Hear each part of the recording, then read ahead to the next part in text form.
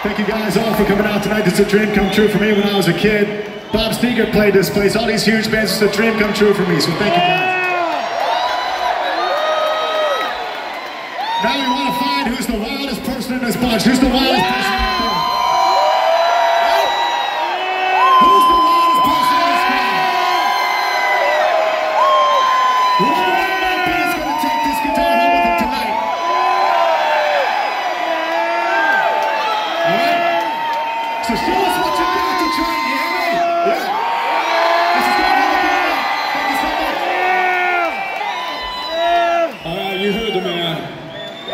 see who's got the most energy during this next song.